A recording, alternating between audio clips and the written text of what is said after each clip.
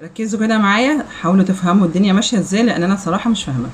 مين شايل مين؟ مين ماشي مع مين؟ مين الحقيقي ومين الفيك؟ أنا مش قادرة أركز بصراحة.